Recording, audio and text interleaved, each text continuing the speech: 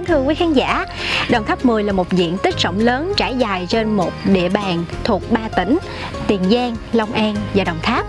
Sinh cảnh Đồng Tháp 10 thì được giữ gìn nhằm bảo tồn những giá trị đặc sắc, đó là cảnh quan, hệ động thực vật đặc trưng và nguồn gen quý hiếm. Điều đó thì có ý nghĩa trên nhiều phương diện, khoa học, sinh học, giáo dục và nhất là y học. Và trong chương trình ngày hôm nay thì mời quý khán giả cùng đến với một nơi đang thực hiện công tác bảo tồn những giá trị này của Đồng Tháp 10 thuộc huyện Tân Phước, tỉnh Tiền Giang.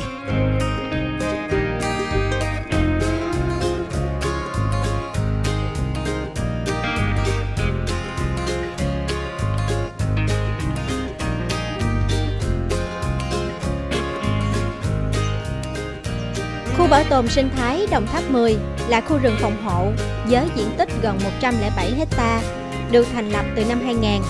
Khu bảo tồn được thành lập nhằm bảo vệ cảnh quan thiên nhiên đặc trưng, bảo tồn các loài vật, giữ gìn nguồn gen quý hiếm, bảo đảm công tác bảo tồn sự đa dạng sinh học vùng Đồng Tháp 10 thuộc tỉnh Tiền Giang.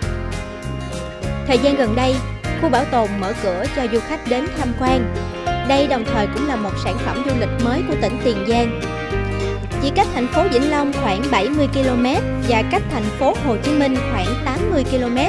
Từ khi mở cửa đón khách, khu bảo tồn trở thành điểm đến thiên nhiên hấp dẫn. Nếu du khách muốn tìm hiểu về hệ sinh thái vùng ngập nước đa dạng, đặc hữu của vùng Đồng Tháp 10,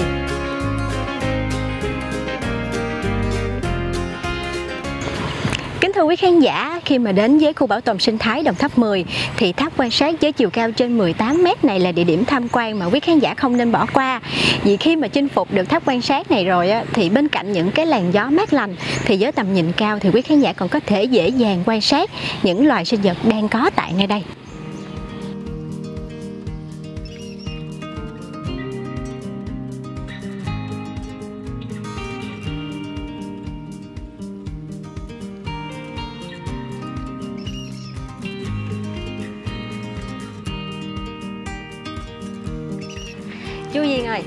Cái tháp canh hồi nãy giờ chú cháu mình à, đem rước lên đó là à, chủ yếu là để phục vụ cái công tác gì hả chú?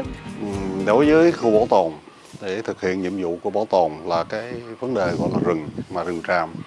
Thì à, lúc nào cũng xác định gọi là cái rừng tràm còn thì như vậy đàn chim mới còn.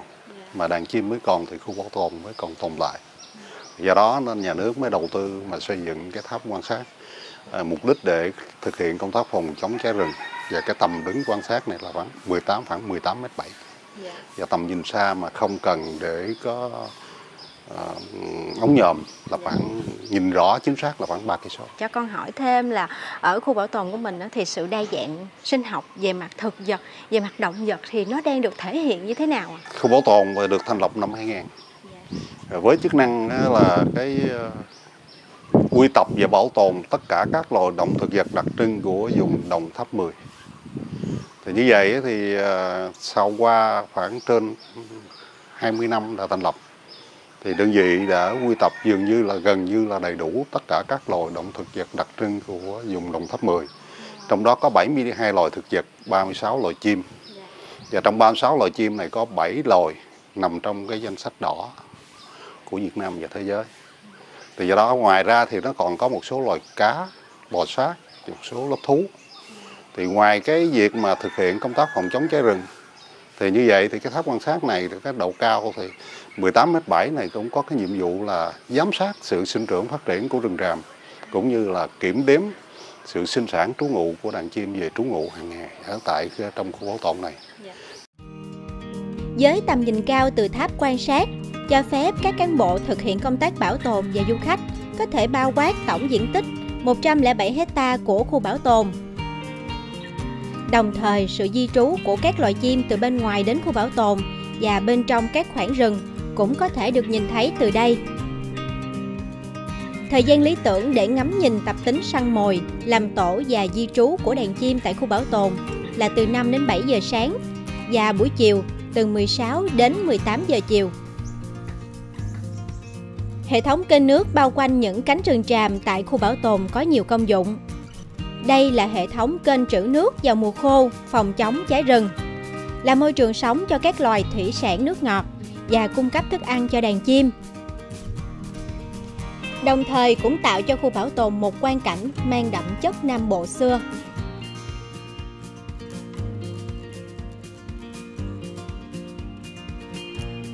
Cùng với tuyến tham quan bằng xe điện, tuyến tham quan bằng xuồng là hai tuyến tham quan chính được giới thiệu khi du khách đến tham quan khu bảo tồn sinh thái Đồng Tháp 10.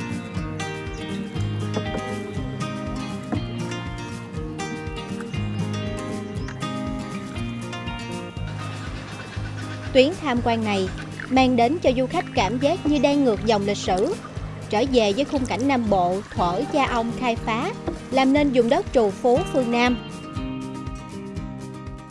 Ở đây á, thì ờ, để tham quan bằng xuồng á, chủ yếu ở đây mình sẽ dùng là xuồng chèo tay để mình thấy được cái nét đặc trưng của vùng dân gian Nam Bộ cũng như là để mình có thể đi chậm hơn, tận hưởng cái bầu không khí trong lành tại nơi đây. Về cái mùa mà để mình tham quan mà đẹp nhất á, thì ở đây là em thấy bốn mùa mùa nào mình đi tham quan cũng đẹp hết. Nhưng mà cái mùa đặc trưng nhất á, có à, em thấy là cái mùa nước nổi. Vào mùa nước nổi á, thì ở đây khi mà mực nước nó dâng cao thì mình sẽ thấy được là cái thảm thực vật tại đây nó rất là phong phú cũng như là nó sẽ Ờ, mang trong mình cái màu xanh rất là mướt mắt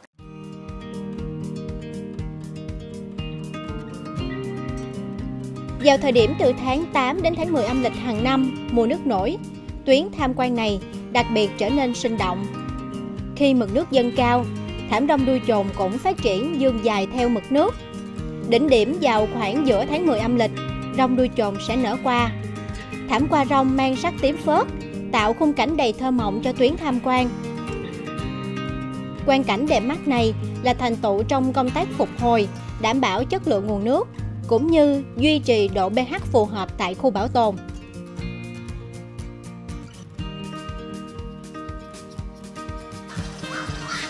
Tiến sâu vào khu vực lõi của khu bảo tồn là cơ hội để du khách đến gần hơn, lắng nghe và ngắm nhìn các loài sinh vật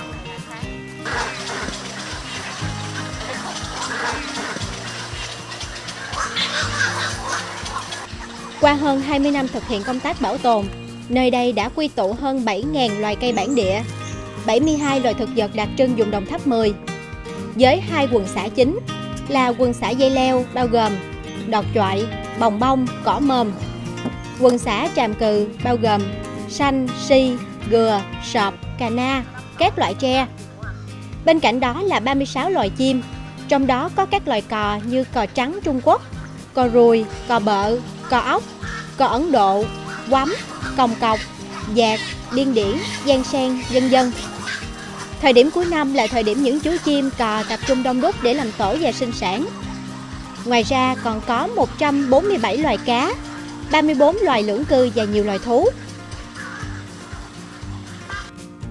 À, hôm nay là đoàn mình rất là may mắn luôn. Khi mà mình được gặp một chú rùa núi vàng ở đây thì theo em được biết á, dựa theo cái số uh, mai cái số ở trên mai rùa thì chú rùa này hiện tại đang là 12 năm tuổi à Dạ, rùa này cũng là một biểu tượng cho sự may mắn. Khi mà khách được gặp những cái chú rùa này á thì ừ, đem lại may mắn cũng như là thuận lợi cho khách.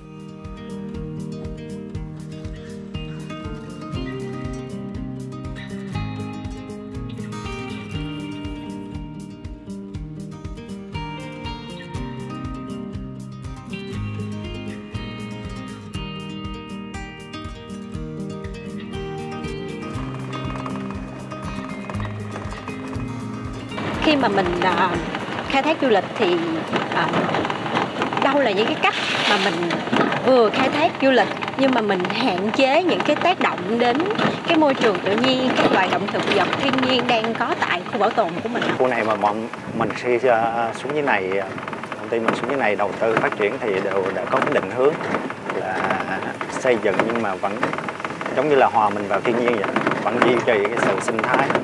Có nghĩa là những cái nguyên nguyên vật liệu mà để xây dựng thì dùng tre nướng hay là mái lợp lá để cho nó hòa mình với thiên nhiên và các bạn chèo xuồng thì cũng không có dùng xuồng máy dạ. tất cả mọi ở đây đều dùng là xuồng à, bơi tay để nó không gây ra cái tiếng ồn để ảnh hưởng tới đàn chim dạ. song song với à, khai thác du lịch thì à, có những cái hoạt động nào mà mình cũng góp phần mình duy trì cái môi trường sinh thái và cái sự đa dạng sinh học ở đây không ạ? À, thì uh, như ờ, bên tập đoàn mình vừa rồi thì cũng có kết hợp là thả cá, thả hơn nửa tấn cá ở đây. Là được thả ở đây các loại cá như rô phi, hay là cá diêu hồng, các loại cá đều có thả về với tự nhiên để dẫn dụ đàn chim. Cho nên là ờ, nói chung ở loại cá này bạn đi trên xuồng thấy ở dưới sông rất là nhiều loại, những loại như rô phi này, hay là cá mè, hay là cá lóc, cá trê những loài cá kiểu rất là nhiều. Mình có thể nhìn thấy nó bơi lội luôn, dưới đó luôn là à, à, à, cũng là một cái nguồn đó là cung cấp thức ăn cho những đàn chim ở đây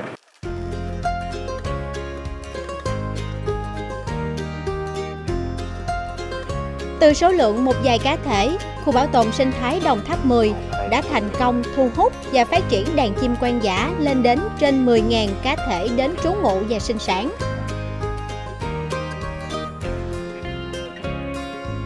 Từ việc bảo vệ môi trường nghiêm ngặt, cung cấp và làm phong phú nguồn thức ăn, các loài vật có điều kiện sống thuận lợi và an toàn là những yếu tố thu hút các loài chim nước về sinh sống tại khu bảo tồn sinh thái Đồng Tháp 10 ngày càng nhiều. Tạo nên không gian sinh thái, du lịch mang giá trị sinh học đa dạng, đặc sắc, góp phần lưu giữ sinh cảnh đặc trưng vùng miền Nam Bộ.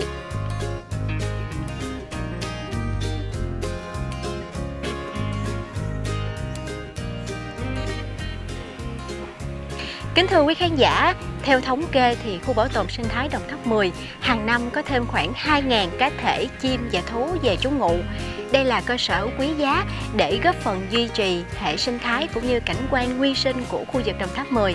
Một cái chuyến tham quan đến khu bảo tồn sinh thái Đồng Tháp 10 sẽ là một chuyến đi thú vị, hấp dẫn với những du khách yêu thiên nhiên.